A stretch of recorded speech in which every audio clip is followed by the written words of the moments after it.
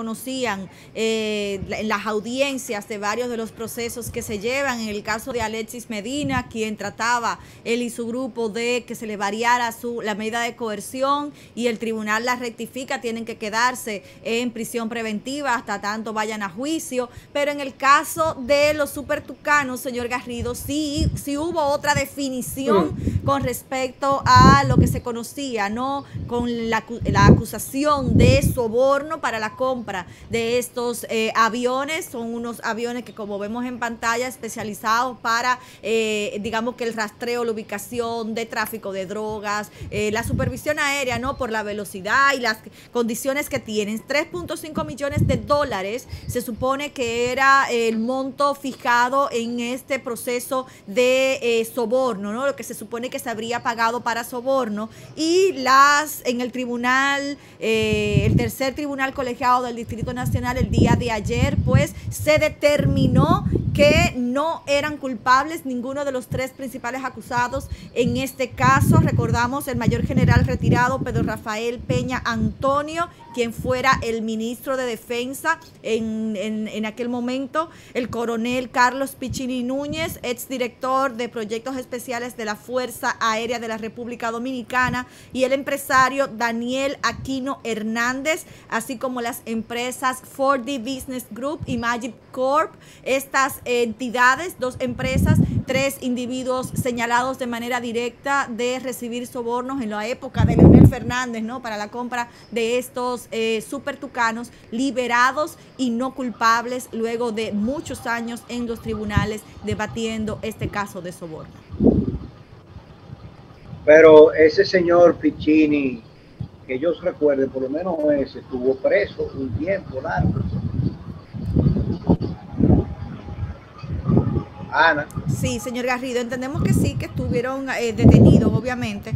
Eh, sin embargo, pues como, como señalábamos ya, de alguna manera... Eh, se les ha descargado, no han encontrado ninguna acusación, dicen las, las juezas, ¿no? Tres juezas que eh, conocieron esta, este dispositivo, pues que el Ministerio Público no presentó las pruebas reales, fehacientes, que dieran peso a este caso, que mm, de alguna manera se pudiera evidenciar la responsabilidad de estos eh, tres señalados y las dos empresas y parecería que la historia se repite porque eh, hay soborno incluso de parte de la empresa que, que se supone señalada por, por haber acusado la señalada, ¿no? De haber sido, de haber sido la que sobornó, pues habiendo una responsabilidad admitida, pues ahora tampoco tenemos quiénes fueron los sobornados. Algo similar a la también empresa brasileña Odebrecht, que aunque se,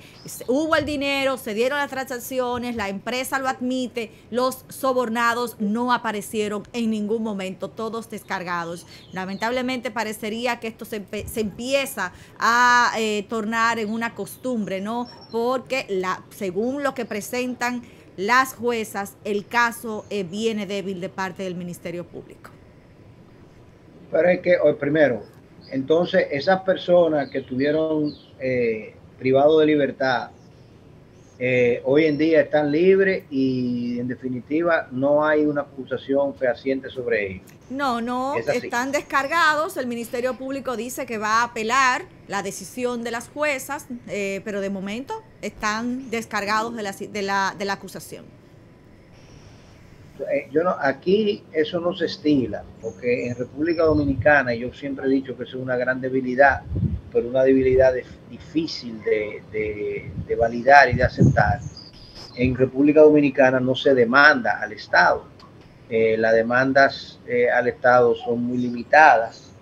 Eh, pero en otros países, por ejemplo, en Estados Unidos, si tú me metiste preso y yo pruebo que yo no debía haber estado preso y me tuviste preventivo dos años, tres años, como algunos de estos casos, eh, yo demando a la ciudad, yo demando a la fiscalía, yo demando al, Estado eh, que me tuvo en eso. Eh, eso es lo primero. Segundo, agrégale a eso, entonces, que ya en definitiva, el, tema del soborno, las debilidades de, los procesos por parte de la fiscalía, van a ser, digamos, que el pan nuestro de cada día. O sea, tú no, tú no tienes manera de probar eh, la desviación de fondo, la, parte técnica nuestra es muy limitada y siempre terminan siendo descargados. Eso es así. Y, y bueno, eh, por ahí también viene eh, lo que de alguna manera mucha gente habría estado esperando y que no entendía cómo todavía no había salido a relucir formalmente el nombre del expresidente Danilo Medina, luego de que tantos, tantos allegados a él pues ya estén en manos de la justicia, ¿no? Y acusados y empezados a ser judicializados, eh, ya eh, un, amplio número, ¿no? De sus colaboradores más cercanos. Y el día de ayer, Wilson Camacho, director del PEPCA, pues confirmaba que en efecto ya hay una investigación investigación en curso, que todavía eh, hay, eh, la, investigación prosigue porque es una investigación abierta, que se están evaluando los resultados y, dice de alguna forma, eh, casi como un tráiler, esperen los resultados, pero que todavía pues no tienen el caso sólido para poder llamar a interrogatorio al expresidente Danilo Medina, pero coming soon. eso, eso es parte del circo. Eso, esa parte, eso es parte del circo.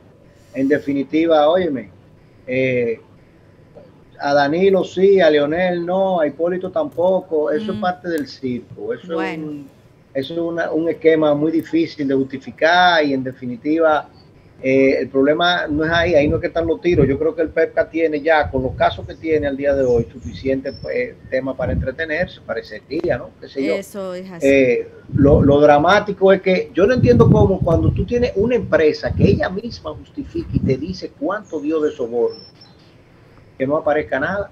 Eso es así. Eso es la, esa es la gran. O sea, la empresa, la empresa, porque la empresa lo dijo, mira, y, y, Odebrecht tenía registro de todo.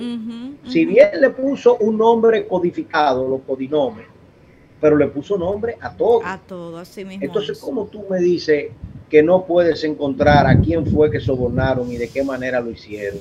Y por cuáles bancos hicieron esa transferencia. No es fortuito, Ana querida, no es fortuito. Y yo no sé si decir qué bueno o qué malo, pero no es fortuito que Marcelo Odebrecht haya dicho la República Dominicana tiene todas las condiciones para el modelo de negocio que nosotros hemos implementado en Latinoamérica. Bueno, las condiciones, tierra fértil, fue tierra fértil. Coincidencia, este es el lugar donde ese tipo de cosas paren. Bueno, señores, tenemos... Con mellizo, con trillizo y con todo el mundo. Fructífero, bastante fértil.